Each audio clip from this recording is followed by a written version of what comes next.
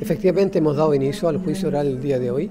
Esperamos, estamos recién comenzando con la prueba, es muy temprano para dar una conclusión, por supuesto, pero la prueba ha ido incorporándose de conformidad a lo que teníamos previsto los testigos han dado cuenta de lo que nosotros esperábamos que dieran cuenta y nos resta bastante prueba por presentar sin perjuicio de la que hemos liberado. Estamos ciertos de que hemos hecho un trabajo junto a la PDI de carácter científico, de carácter técnico, hemos tenido siempre a las víctimas en viste, por lo tanto estamos claros de cuál es la prueba que viene, cómo la vamos a presentar y qué es lo que esperamos probar con cada uno de ellos. ¿Qué tipo de prueba tienen?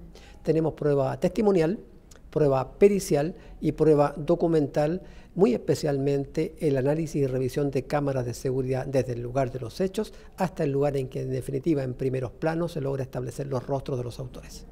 El delito que nosotros estamos acusando, porque creemos que es el delito que aquí se cometió, es el de robo con homicidio, con la intención de robar, forcejean con la víctima y terminan dándole muerte con una o más de una estocada dirigidas a zonas vitales de su cuerpo. Eso en primer lugar. ¿Cuáles son las penas que estamos pidiendo en segundo lugar? Aquí hay que distinguir, hay un adulto y hay un adolescente que tenía menos de 16 años.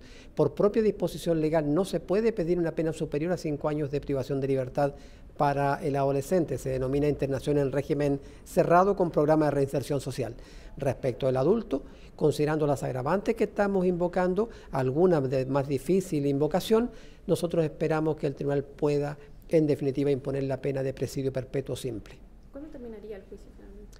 Este juicio está agendado para tres días y seguramente vamos a utilizar todo el tiempo disponible porque tenemos que irnos con calma para que la prueba vaya ingresando en la forma adecuada y que el tribunal la vaya razonando adecuadamente. Sí, eh, el día de hoy se dio inicio a juicio oral eh, respecto de dos personas que están acusadas, una de ellas menor de edad. El Ministerio Público sostiene eh, un ilícito de robo con homicidio.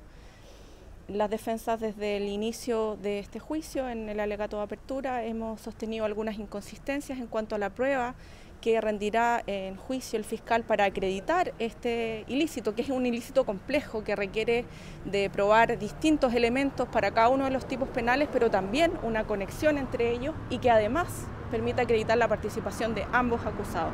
Lo que nosotros estimamos que con la prueba rendida en juicio no podrá acreditarse con eh, el grado de consistencia, de contundencia que se requiere para arribar a un veredicto condenatorio, que es lo que busca la Fiscalía, a lo cual desde ya nosotros nos oponemos. Hasta el momento nosotros no, hemos hecho ninguna discusión de pena porque lo que se ha ventilado en este juicio en una etapa inicial dice relación principalmente con una calificación jurídica que el Ministerio Público tiene que acreditar con su prueba. Es la labor del fiscal poder acreditar los presupuestos del ilícito acusado.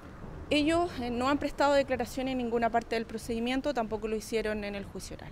La decisión de prestar o no declaración radica principalmente en lo que señalen los imputados. Es la decisión de ellos que nosotros como defensa eh, acogemos desde el momento en que se inicia esta investigación.